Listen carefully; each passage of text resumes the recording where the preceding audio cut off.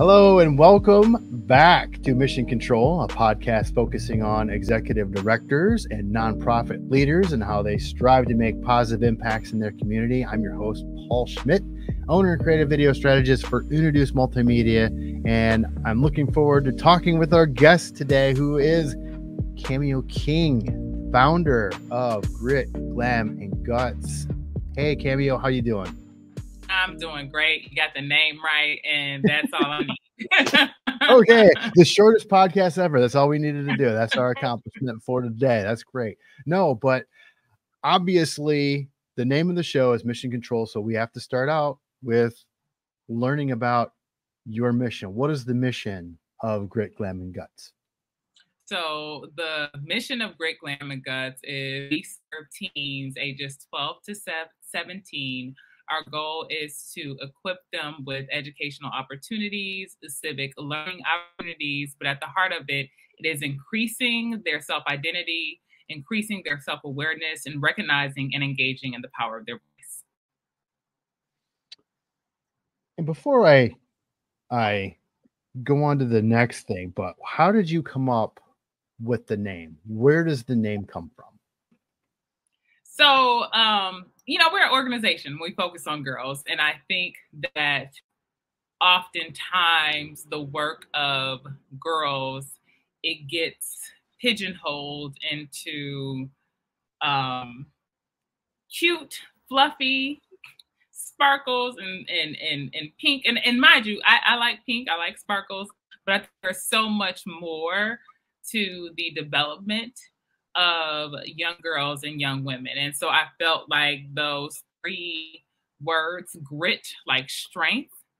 Um, glam is the beauty of our experiences and the compassion we have. Guts is the like literally the gusto to go after your dreams and be who you are. And so I was intentional about ensuring that people understood that teen girls are all of these things and more because we develop into young women who need these characteristics to navigate navigate life. Would you would you say that the description of the or grit glam guts also describes you and your journey? Um i would definitely say yes. I would definitely say yes and it's interesting. No one has ever asked me that. it's interesting because I think that um, you know how you present, and this goes for anyone. How you present, you know, people make assumptions about the type of person you are, um, and I think I come off as very bright, very warm, very loving, and I think that those are true characteristics of me, and I think that is how people encounter me. But there's also a very tough side of me. Um, there is a also a truth telling side of me. There's also strength that I had to dig deep for uh, that I know makes me the woman that I am today and continues to push me to the places that I'm called to be. Um, so definitely yes, I'm multidimensional, and I understand that our teens and our young ladies are, are multidimensional as well. In that, and we're going to dive into that multidimensionality, if that's a word. It is now, if it's not a word, of of what what you've put out there because you've been very uh, forward facing um, that I've noticed, you know, and and going and researching you and and your background. I mean, let you're you're also speaking to my heart, quite the storyteller. As uh, you know, you started your career in in journalism, being forward focused, and I, you know, so talk a little bit about about your your dabbling in the at at, the news station and, and getting started in that in that world? Yeah so one of my um uh, dreams has always been to i think be the voice of the voiceless. Um, and it's funny i was corrected by another journal, journalist. There, no one does not not have a voice so stop saying that. Stop stop saying that. You're no one's savior. But um, I understood the power. I understood the power of media. I understood the power of the mic um, to enact social change, to create conversations. And so that's where I fell in love with it. And so um, I actually started in undergrad. I went to Howard University. Um, HU will typically respond, you know, if you if you got if you if you are a Howard University mm-hmm. alum. mm-hmm. mm-hmm. Um, and um, I studied broadcast journalism there, and I had multiple internships, and I also worked in radio. And so the transition, my first job out of college, I was actually a producer at a CBS affiliate uh, in Lansing, Michigan, and uh, that world taught me more about people, and I think less about journalism. And maybe journalism is about people right? There's an art asking questions. There's an art to storytelling. There's a craft behind it uh, there's an art to researching but um, meeting people on their best days and on their worst days you get to learn a lot about how people show what they need and simply humanity um, and so i enjoyed and in a fast-paced environment right um, and oftentimes in an environment where you can't get can't get it wrong, right? Because you have 30 seconds, 60 seconds, a minute and a half to provide what could be crucial information, what could be um, information that has ripped the family apart, right? Um, and you you simply can't get it wrong, and you have to handle it with care. And I enjoyed that about journalism. Um, and if I'm honest, I didn't care for a part of me didn't care for the structure at the time. It changed a little bit, but the structure of local news stations where the the the phrase was if it bleeds, it leads. And so when we say that, that means bad news come first bad news comes first. We get excited about bad news. We get excited about someone getting cut, shot, whatever um, and that is the leading story of the day. And uh, I didn't, I didn't, that didn't sit well with me. Um, it put me in a position of being able to change, like the reason why I got into the got into the field in the first place. And I also worked in radio. I was able to tell more creative, long form stories um, uh, using just different sounds, the power of uh, the power of the voice. And so my my role in in my experience in journalism, I think it prepared me for a lot because being able to communicate those stories is is how we connect, is how we relate. Um, and keeping humanity centered in all of that is, is key when you're building or doing anything. Well, and you know, just to just to tag on to that, I mean, you know, with your ability to tell long form stories, stories about people, con- conversing with people, and doing it in an audio um, setting, you created a podcast that you still do. You know, before, well, I shouldn't say before, but before the podcast, way before the podcast boom, you had this started. What, what, what was your thought process in that? Was it just the ability to just tell tell stories like on your on your time under your pacing i mean what was your what was your thought process in developing a podcast when nobody most people were like what's a podcast mm-hmm. podcasting before podcasting popular right mm-hmm. before was the everyday term um I desire like that that common thread I talked about acting change and having these conversations, these transformative conversations.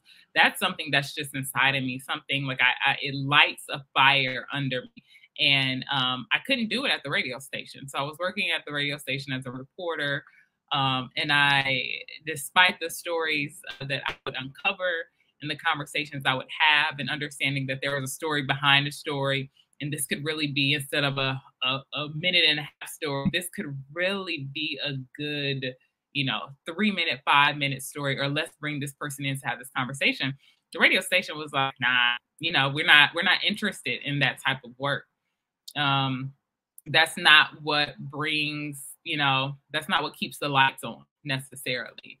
Um that's not the structure we know. And so i said well okay i'll try to i'll try it on my own.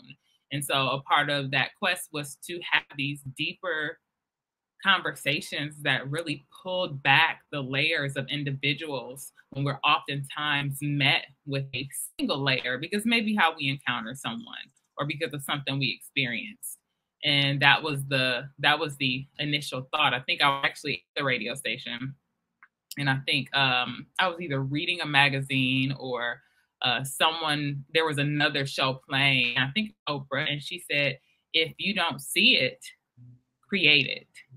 And so that was the that that was the okay well that there's your challenge.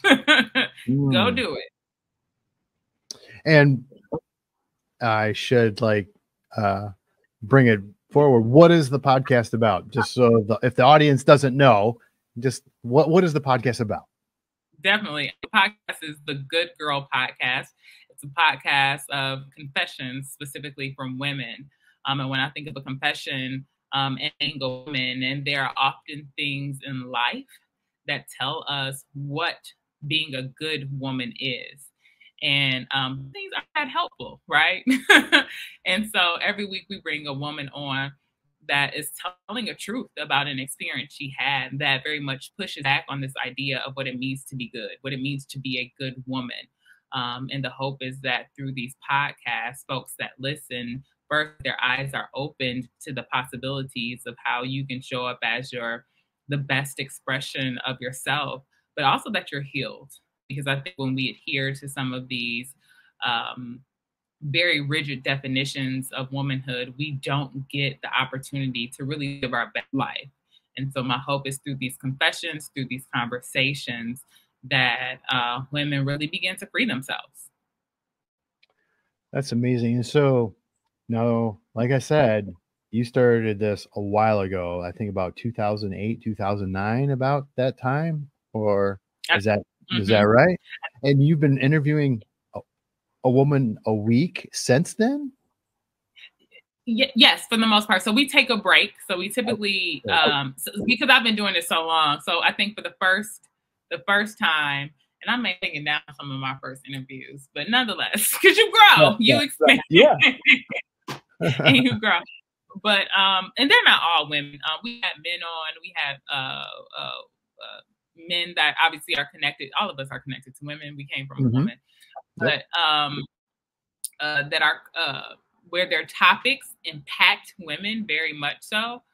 Uh, but I would say, in short, yes, um, and so we moved to seasons where we would do a fall and a spring season, and we would take the summer off because of the other things I'm sure we'll get to that I do. Um, and specifically this past year, though, we took uh, we took a this will be a year now that I've taken off of the podcast because of all the other things that are exploding and happening um, right now in my life. I do have a desire to get back on there, but it's about finding the time. You know, Paul, mm-hmm. you know this. It takes work and developing a podcast, getting mm-hmm. guests, getting guests to respond, cameo, mm-hmm. getting no no comment. No, just kidding. um,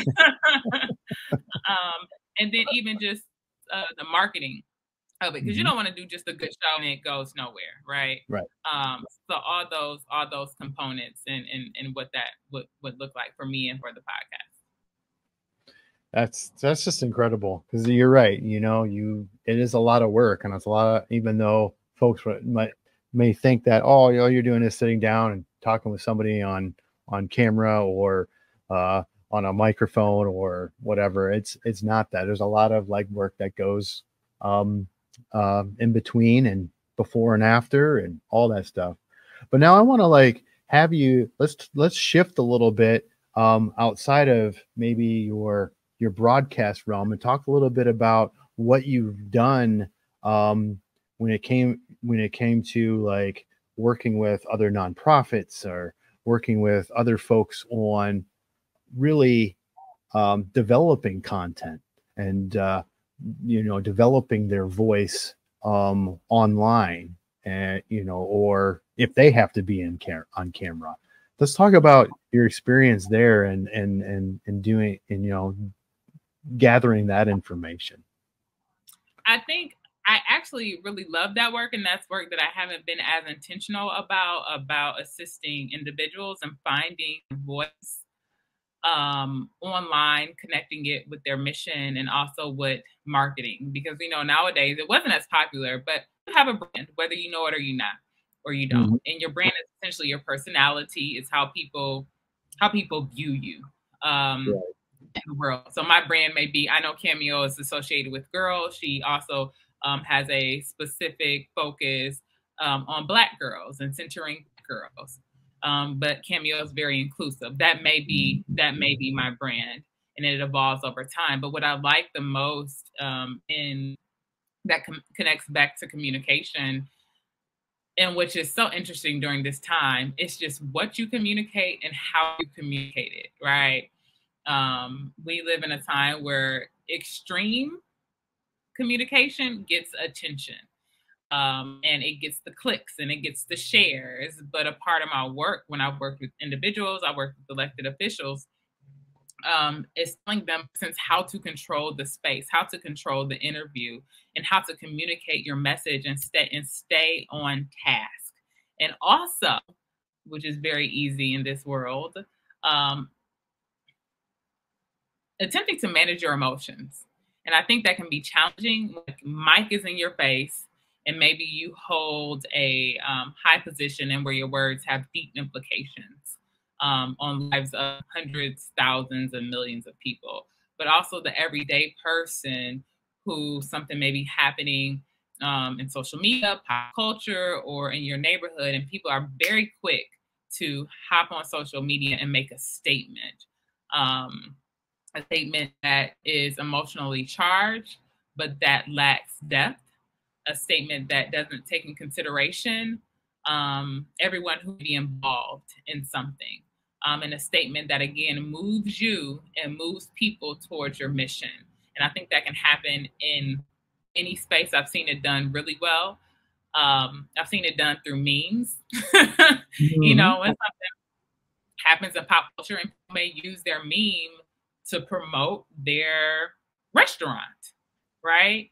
Um, and that's essentially your brand, your mission, connecting it to to what's happening now. So I do really do. I mean, I really do love that work. But when we have time to really sit down, have deeper conversations, and giving people the pause before they decide to express themselves on the world wide web where millions and thousands of people exist and you can sincerely impact someone's life.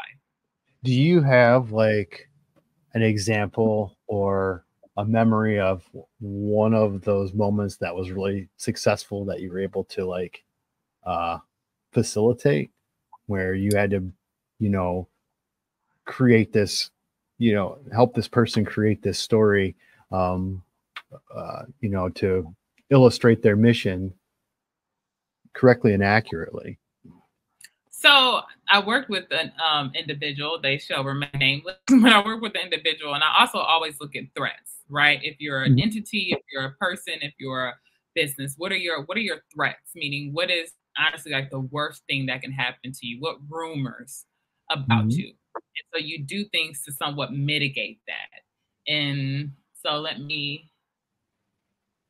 So if someone, so if you're if you're a billionaire, right, and the one of the threats that you don't care about the communities you build your facilities in, right? And so part of that mitigation is every community that you go into, make sure you are essentially doing good, not charity work, but that you're building and that you're integrating.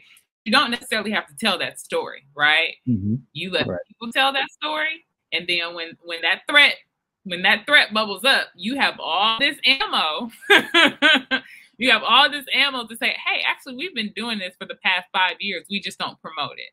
Right.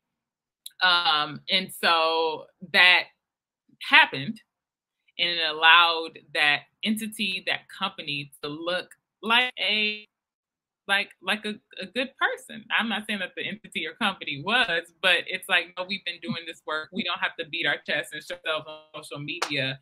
But since you want to bring it up, here it is. That's wild. Um, and it's all about controlling that narrative.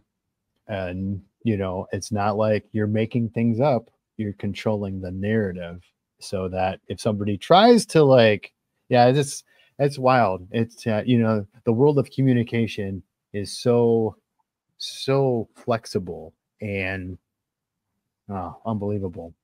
So all that. I'm sorry. And just one more thing, one more thing I want to add, but I also always tell individuals, especially this space, just to be honest, just like to integrity. Like, so if you lied, if you messed up, admit it and leave it alone. And, and that's it. And, and, and show like how you'll take this walk back. Um, because I think people are forgiving if you are sincere. And if you are, I say sincere, you're really going to work towards being a better human or not doing this again or rectifying the situation. Um, because I would like to believe we all know that we will eventually do something we're not proud of. Mm-hmm. Absolutely. I mean, we're human. We're going to fall and we are going to fail, but it it's how you recover from that is what people will remember. Um, yeah. And or if you don't recover, they'll remember that as well. Uh, so taking all that, you know, you're taking your storytelling into uh, on camera broadcasting. You're taking your storytelling from to behind the camera and helping other folks find their voice. Let's talk about how you found the voice of Grit Glam Guts. How did that start? How did you go from all these organizations that you knew about, were a part of, and learn and what you learned from, and create uh, Grit Glam Guts, and why? Was this another situation where you were like uh, with the Oprah? If you if you don't see it, create it. Is that another one of these aspects, or how did this come about? I know that was like a long, convoluted way to ask a question, but there we are.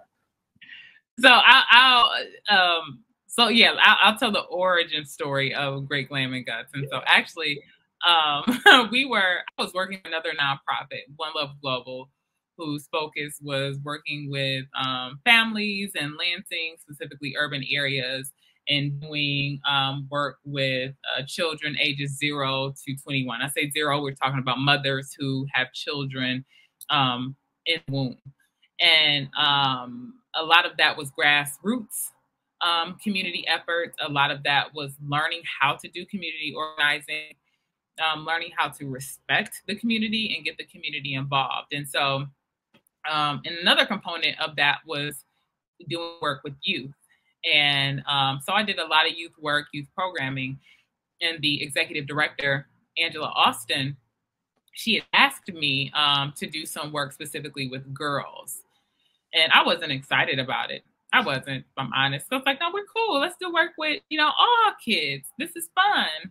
Um, and uh, and she says, no, I really, I really want you to do this. I said, great. Kind of said like that, great. and um, and so I, because I was somewhat pushing it off, I think she knew she she had come back to me and asked me how it was going. I hadn't planned anything, I hadn't researched anything, and so I'm somewhat scrambling and one day she came in and she said, Cameo, before you leave today, I need to talk to you.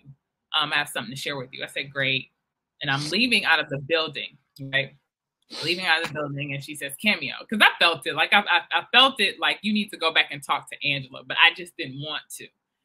And so I'm leaving out, and she says, Cameo, why didn't you come and talk to me? I'm like, I don't know. You know, that's my response. and then she says to me, she's a woman of faith of God, and she says, Cameo, God told me that this work with girls isn't for me, but it's for you. And so I say, okay. But in my head, I say, God didn't tell me that. So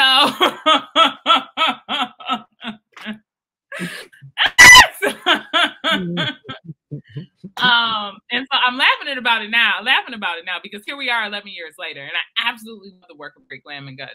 Um, and so one of our first um, one of the first things we did was we put on a teen conference for girls and i to, wanted it to be as authentic as possible for young ladies um, and really give them opportunity to get questions answered um, have conversations that you know you wanted to have as a team, but maybe didn't have the space to have or maybe didn't have the resources to get involved and get connected and there was also a very intentional component of it of addressing the summer slump, right? We did it over the summer, and oftentimes students in underserved areas they don't have access to summer programming, whether it's a camp because it's high tuition or um, it's transportation or just quality programming. And so we want to be intentional about that, about having it over the summer, having other organizations that served these girls um, present too. So it wasn't just about Grit Glam and Guts. It was about what the resources are in the community that can serve you. So that's where we that's where we started. I loved it and I saw the deep need for it. Um, I just continued to do the work. And the more I did the work, the more I realized how my unique approach of working with girls uh, was something that needed. Um, in terms of simply, like, I just, I, this is how I said, like, I love the babies, right? I love, I, I, and, and like resources and support and a listening ear and I need a lot of other things but i think knowing that they have a community behind them that is prepared to equip them with tools for them to navigate life is a part of the brand of of of GGG of Grit Glam and Guts. So, I mean, you've done this for quite a while. Um, you've got all you know you did the conference do you do the conference still or is that still known as uh the what you do at the capitol is that or no. those two separate things two separate things and so uh the team conference we've done consistently um and then out of the team conference we began to do chapters or a level of academic programming so essentially we had a maybe eight to ten week uh, curriculum that was implemented in schools. And we were at Eastern for a hmm. while, and I think we were at the Lansing Art Gallery, and we also did one at the Boys and Girls Club of Greater Flint. Um, and that was it was kind of like our pilot season, right? Or we piloted a few, and it went really well. And so now we have like official chapters. We have that uh, Waverly Middle School. We have one um, in East Lansing, and we have a Lansing citywide chapter. And hopefully, we'll be bringing on another chapter soon.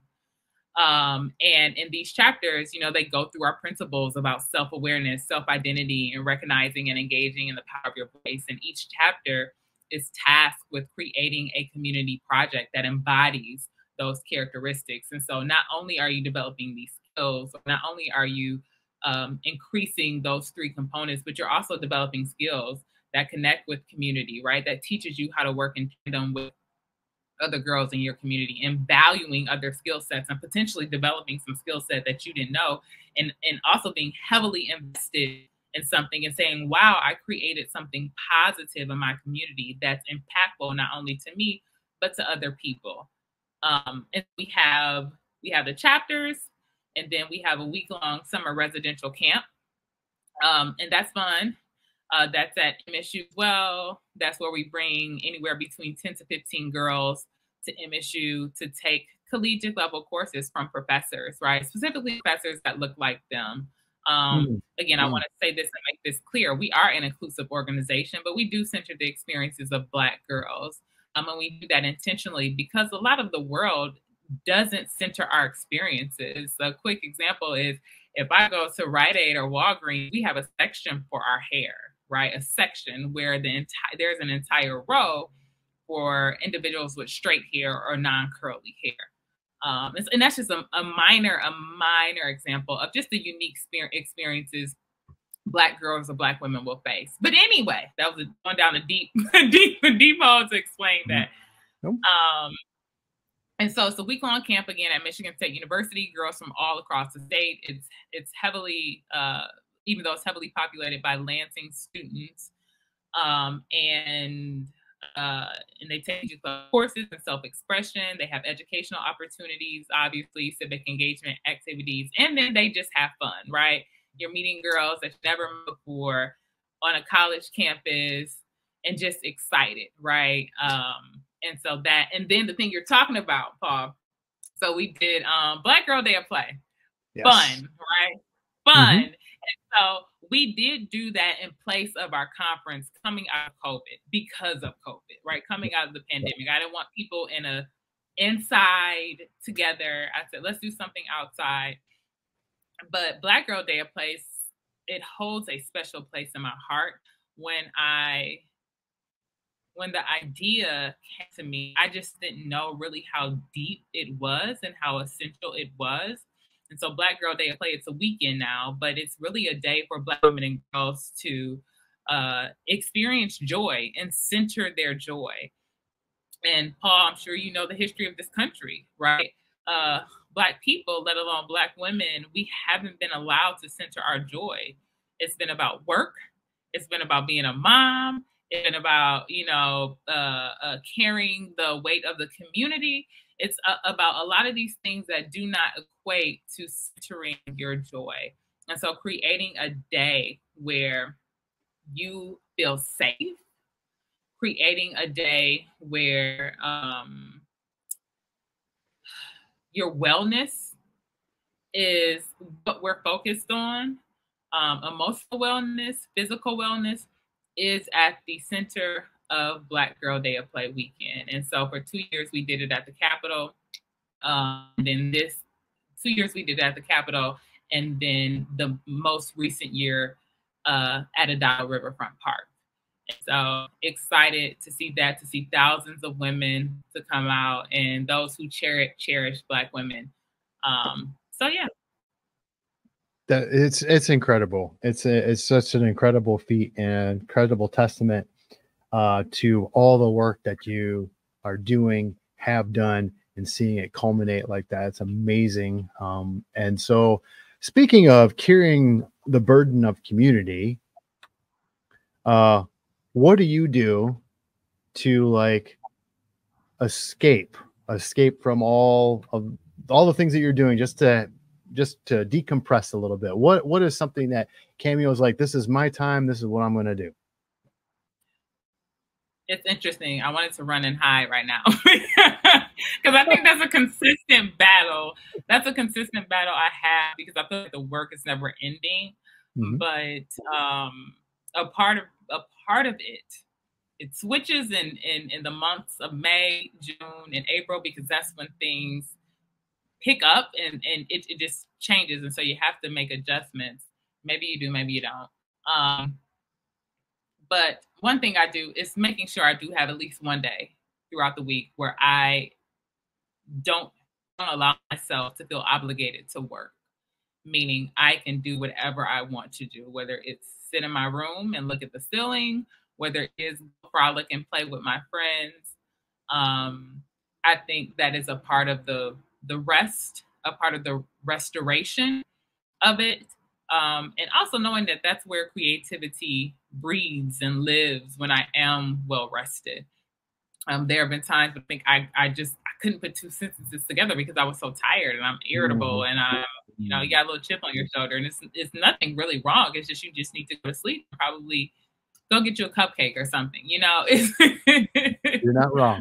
You're not wrong. It, and so that's a that's a part of it. It's just being intentional, and I'm trying to become more intentional about even resting throughout the day, if that makes sense. And so I know we work eight hours a day, and sometimes we just don't get up and just don't take a breath, take a walk.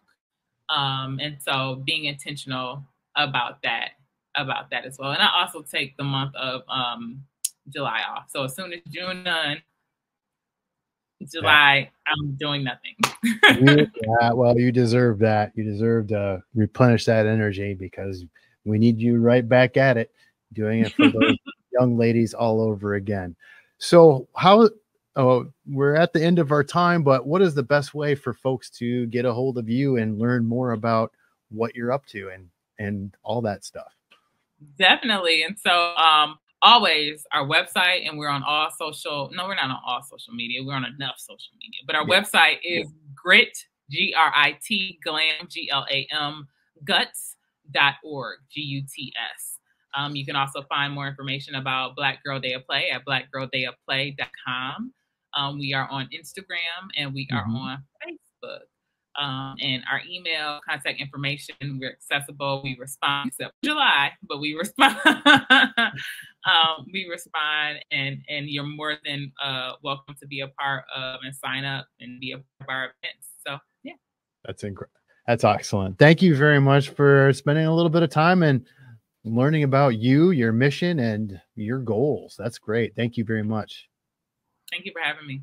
Absolutely. And thank you all again for taking some time to listen to our program. Don't miss the next episode coming out in a couple weeks. And if there's someone you know of that you would like to hear about with their journey, please email us at missioncontrol at unodeuce.com. And if this is your first time here, please subscribe on YouTube or your favorite podcasting platform and leave us a review.